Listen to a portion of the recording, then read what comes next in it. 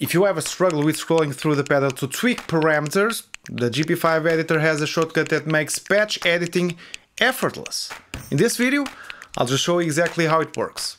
So this is a part 2 of my Valeton GP5 series. In the first video I just went through all the parameters on the pedal itself. And today's focus is just the editor software. I'll explain the interface and how to use it effectively. And if you haven't seen part 1 yet, I just recommend watching that first, so this video just makes more sense. Okay, you can watch it here.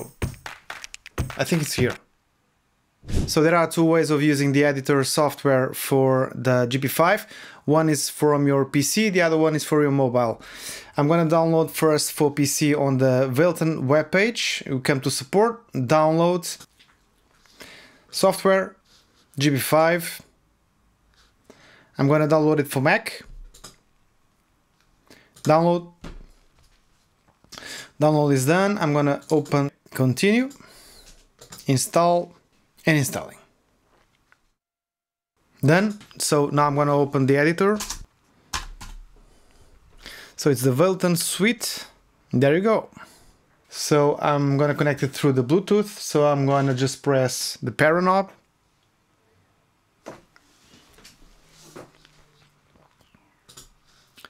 In this way, it has the GP5, connect device, and there you go. So this is the layout from the GP5 and first thing you noticed is that you can you have all the effects here. We have the noise reduction the pre that you have a bunch of options as well. You have the distortion the, the snap tone where you have the, all the NAM files. Here you have your amp your cab EQ modulation delay and reverb all the effects are changeable you can change all the effects by just grabbing it and change the order as you want it. Here on the pitch uh, detune is the effects. You can select this, select another one like for example an octaver. Here you can adjust all the slides, the highs, the lows, the highs, if you want it more dry or more wet. Here is where you just turn on or off, turn it on then here you have the patch settings. Here you have all the effects that you have selected for the pedal that you can switch on or off. I will explain in a minute. Here you have a bunch of distortions as well. You have all the classics. You have the super overdrive, yellow overdrive, the green OD.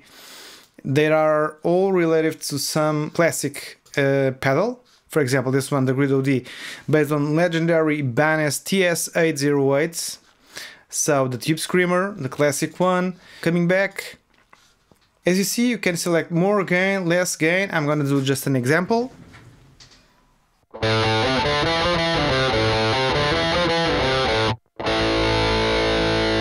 have a lot to the noise reduction, but you can tweak a little bit of the the distortion pedal, like the gain I can sounds better, sound maximum.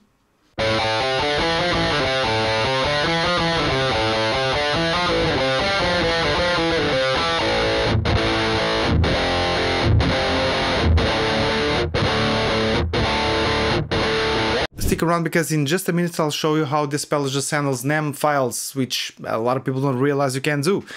And it completely just changes what this little box is capable of.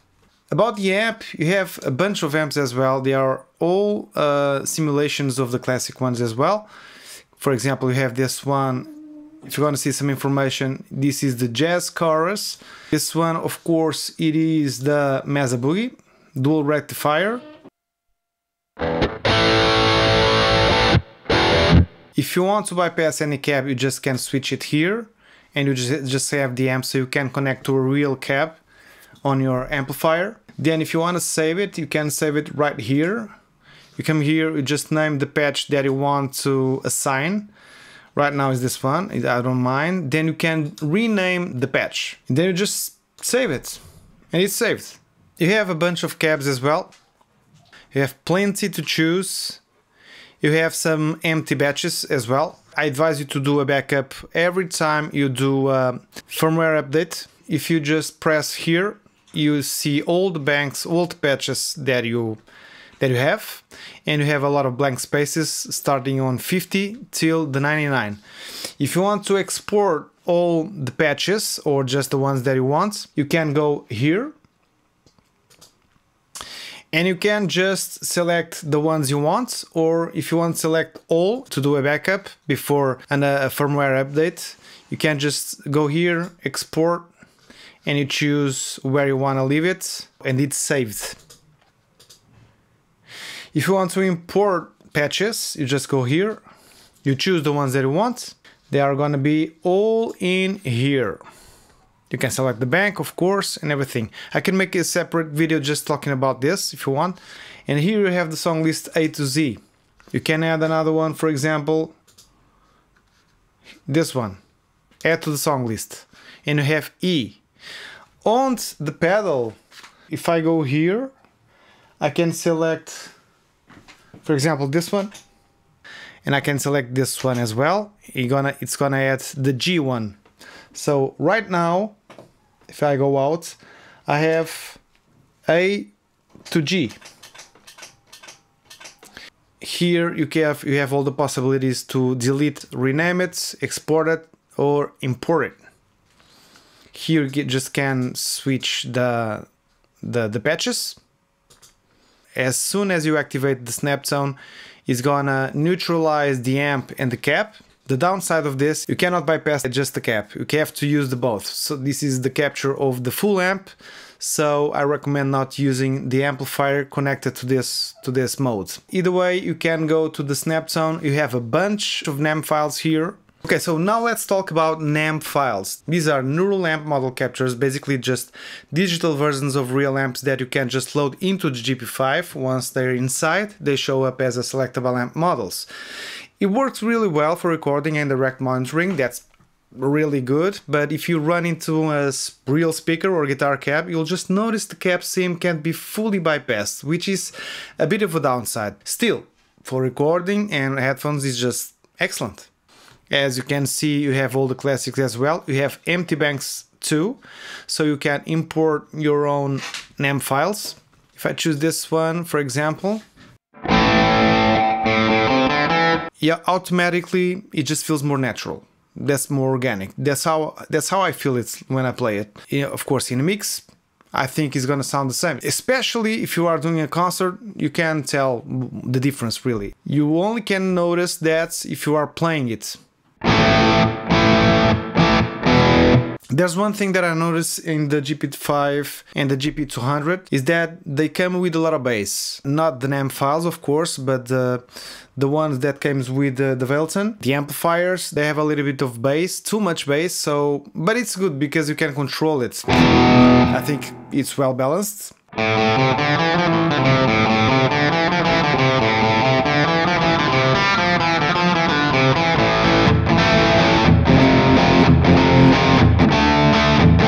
If you want to, you can import the Snaptone file for this bank. About the patch settings, if you go to the CTL mode, just select it. You have here on the pedal, you can just turn on or off effects, as you see. You can see on the app as well. You can select on the software which ones are you turning on or off. For example, if you go to patch settings and when I turn it comes the modulation. Let's just see it. There you go. Let's select which ones are for example, if you are if you have a song that you want a clean sound with some effects, you have for example, okay, the modulation with reverb and the, the pre, but when you turn it on, you can choose, for example, a distortion. When you press on, the distortion are on. So the noise reduction too, it makes sense because you want to control the noise of your guitar.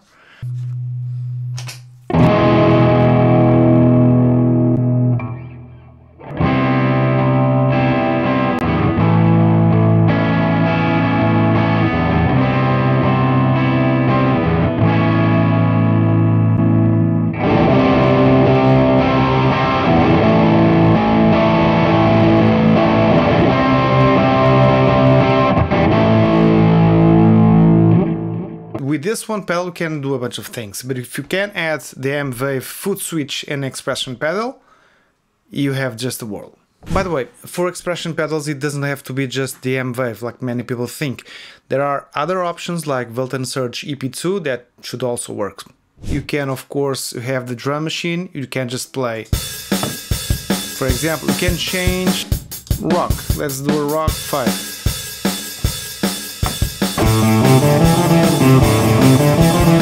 Can change the volume as you wish. You can change the BPMs. For example, for if I want to change, you can you can tap.